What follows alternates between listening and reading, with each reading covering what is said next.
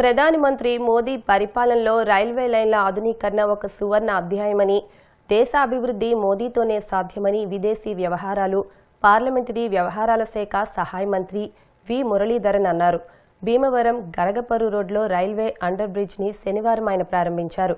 మంత్రి మాట్లాడుతూ railway under పాస్ను జాతీయ రహదారికి అనుసంధానం చేయడం ద్వారా ట్రాఫిక్ నియంత్రణకు మార్గం సుగమం అవుతుందన్నారు.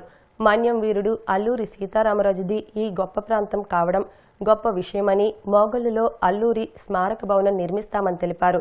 రాజ్యసభ సభ్యుడు జీవీఎల్ నరసింహారావు ఆంధ్రప్రదేశ్ శాసనమండలి చైర్మన్ కోయే మోషన్ రాజు బీజేపీ రాష్ట్ర అధ్యక్షుడు సోము వీర్రాజు పార్టీ రాష్ట్ర కార్యదర్శి భూపతిరాజు శ్రీనివాస్ వర్మ పార్టీ రాష్ట్ర క్రమశిక్షణ chairman Paka Satyanarayana railway DRM Shivendra Mohan joint collector J V Murali BJP జిల్లా అధ్యక్షులు నార్ని తాతాజీ జిల్లా ప్రధాన కార్యదర్శి పేరుచర్ల సుభాష్ కోమటి రవికుమార్ కిసాన్ మోర్చా జిల్లా అధ్యక్షులు అల్లూరి సాయిదుర్గరాజు పట్టణ అధ్యక్షులు కాయిత సురేంద్ర రైల్వే అధికారులు పాల్గొన్నారు.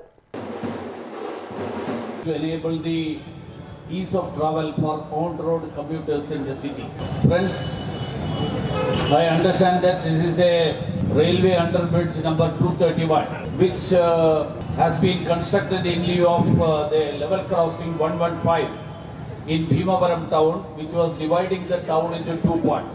So the main road connecting the city traffic to NH 216 as well as NH 16. This proves to be a boon to the public of Bhimavaram and the adjacent areas which is relieving the decongestion of the city. Built along with four more underpasses in this town by the Indian Railways. This project will enable hassle-free travel as it connects the city traffic to the highway traffic. Started in May 2022, this project has been completed in record time. It Will further assist in the development of Bhimavaram town. With the completion of the Vijayawada, Narasapuram to Bhimavaram and Nidadavolu railway track doubling and electrification, there is an increase in the number of trains. Having an underpass will be a great resource for seamless movement on the road. As I appreciate the railways for the timely completion of the project, I would like to underline the focus of the government of India under the able leadership of the Prime Minister Sri Narendra Modi ji, which is ensuring ease of life by providing ease of access and ease of travel. This project which is worth almost 21 crores may be a small one if one looks at the cost of the railway projects. But projects such as these and the redevelopment of stations, including the construction of ticket counters in Bhimavaram town stations by the government are a testimony to Narendra Modi government's commitment to ensure ease of life. ఈ యొక్క పట్టణంలో ఉన్నటువంటి అవసరాలను గుర్తించి కోట్లాది రూపాయలతోటి ఈ under బ్రిడ్జెస్ని నిర్మించడం చాలా గొప్ప విషయం ఈ యొక్క టౌన్లో మూడు ఆంధ్రప్రదేశ్ని నిర్మించడం జరిగింది. ఒకటి ఎఫ్సై గూడెంకి వెళ్ళేటటువంటిది రెండు మెంటేవర్ తోట మూడవది ఇక్కడ మనం చూస్తున్నటువంటి ఈ గరగపర్రు రోడ్డుకి సంబంధించినటువంటి విషయం. మూడింటిలోనూ కూడా ఇది చాలా అతి ముఖ్యమైనటువంటి మరి అండర్ దీనివల్ల మన గతంలో చూసాం టౌన్లో ఎంతో రద్దీ ఉండేది. మరి ఇక్కడ ట్రాఫిక్ జామ్ అవడం కానీ లేకపోతే ఈ రైల్వే గేట్ పట్టడం వల్ల ఈ యొక్క ఉండేటటువంటి ట్రాఫిక్ నియంత్రణ చుట్టూలో చాలా ఇబ్బంది పడేవాళ్ళం.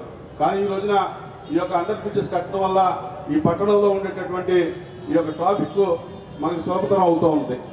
అలాగే భీమవరం పట్టణం ఇటీవలనే రాష్ట్ర ప్రభుత్వం గౌరవ ముఖ్యమంత్రి మరి జగన్మోహన్ రెడ్డి గారి ఆలోచనతోటి ఈ యొక్క భీమవరాన్ని వెస్ట్ గోదావరి జిల్లాగా ప్రకటించడం మన జిల్లా కేంద్రం అవడం కూడా చాలా గొప్ప విషయం. ఇంకా రాబోయే కాలంలో మన భీమవరం పట్టణం ఎంతో ప్రతిష్టాత్మకమైన పట్టణంగా ఉండబోతా ఉంది. కనుక ఈరోజు ఇంకా మిగిలినటువంటి కొన్ని బ్రిడ్జెస్ ఏదైతే ఉన్నాయో ముండి రోడ్ ముండి రోడ్డు పాత వార్ బ్రిడ్జ్ ఏదైతే ఉందో అది అప్పట్లో ఎప్పుడో పంతొమ్మిది వందల డెబ్బైలో కట్టినటువంటి వార్ బ్రిడ్జ్ ఇది. దాని బాగా విరుగ్గా ఉండటం వల్ల దానికి కూడా ఎక్స్టెండ్ చేయాలన్నటువంటి అవసరం ఉంది. మంత్రివర్యులు చెప్పేది ఏంటంటే మిగిలినటువంటి ఏదైతే ఆ, వార్ బ్రిడ్జెస్ కానీ అండర్ పాస్ కట్టాలనుకుంటా ఉన్నారో వాటిని కూడా భీమవరానికి అందించాలని చెప్పి కోరుకుంటా ఉన్నాను. అలాగే పాత ఓవర్ బ్రిడ్జ్ ఏదైతే ఉందో ఆ ఓవర్ బ్రిడ్జ్ని కూడా ఎక్స్టెండ్ చేసి పెద్దది చేసినట్టయితే కనుక ఈ పట్టణంలో ఉండేటటువంటి ఈ యొక్క ట్రాఫిక్ని నియంత్రించడానికి అవకాశం ఉంటుందని చెప్పి నేను తెలియజేసుకుంటూ ఉండు. అండర్ పాస్లేగా గత అనేకమైన సంవత్సరాలుగా నిడదవల నుంచి మనకి డబుల్ లైన్ లేదు ఎలక్ట్రిఫికేషన్ లేదు. దాన్ని కేంద్ర ప్రభుత్వం నరేంద్ర మోడీ గారు పద్నాలుగులోనే అనౌన్స్ చేయడం దాన్ని కంప్లీట్ చేయడం ఊహించిన అంశం ఏంటంటే సహజంగా డబులింగ్ జరగడం ఎలక్ట్రిఫికేషన్ జరగడం చాలా సహజమైనటువంటి ప్రక్రియగా నరేంద్ర మోడీ గారి యొక్క ప్రభుత్వంలో మారడం జరిగింది. కానీ నేను భీమవరంలో చదువుకున్నాను. ఈ పట్టణం గురించి తెలిసి ఈ మధ్యకాలంలో నేను మూడు రోజులు ఉన్న సందర్భంగా ఈ అండర్ పాస్లు ఈ విధంగా వేయడం ప్రజలెవరూ వీటి గురించి అడగలేదు. చాలా కాలం నుంచి మనకి డబుల్ లైన్ కావాలని అడగడం అనేది సహజం కానీ మంత్రివర్యులు మొన్న భీమవరం రావడం ఈ అభివృద్ధిని గమనించడం వారు కేంద్రంలో పెద్దలతో మాట్లాడి వెంటనే వీటిని ఇనాగ్రేట్ చేయాలి అని వారు సంకల్పించి పదిహేను రోజుల మధ్య కాలంలోనే ఇక్కడికి రావడం. నిజంగా ఆంధ్రప్రదేశ్ భారతీయ జనతా పార్టీ తరఫున వారిని అభినందిస్తున్నాను. మోడీ గారి ప్రభుత్వం అంటేనే ఎనిమిదిన్నర సంవత్సరాల నిరంతర అభివృద్ధి. అందులో ఈరోజు రైల్వే అండర్ పాసెస్ ప్రారంభోత్సవానికి మన కేంద్ర మంత్రి గారు రావటం నిజంగా మనందరికీ శుభ సూచకం. Thank you Shri Muralidharan ji for coming for the inauguration of these three under passes it's it shows our your commitment our government's commitment to the development of the country and development of infrastructure sector and, and the railway sector. Modi గారు ప్రధానమంత్రి అయ్యాక విపరీతమైనటువంటి దాదాపుగా ఎనిమిదిన్నర తొమ్మిది లక్షల కోట్ల పెట్టుబడితో రైల్వే రంగంలో ఇన్ఫ్రాస్ట్రక్చర్ డెవలప్మెంట్ స్టార్ట్ చేయడం జరిగింది ఒక్క ఆంధ్రప్రదేశ్ రాష్ట్రంలోనే రానున్న ఐదు సంవత్సరాల్లో మౌలిక సదుపాయాల రంగంలో నేషనల్ ఇన్ఫ్రాస్ట్రక్చర్ పైప్ లైన్ కింద ఎనిమిది లక్షల పదహారు వేల కోట్లతో రైల్ రోడ్ అలాగే విమానయాన శాఖ అన్నిట్లో కలిపి ఎనిమిది లక్షల పదహారు వేల కోట్ల రూపాయల పెట్టుబడి జరుగుతోంది.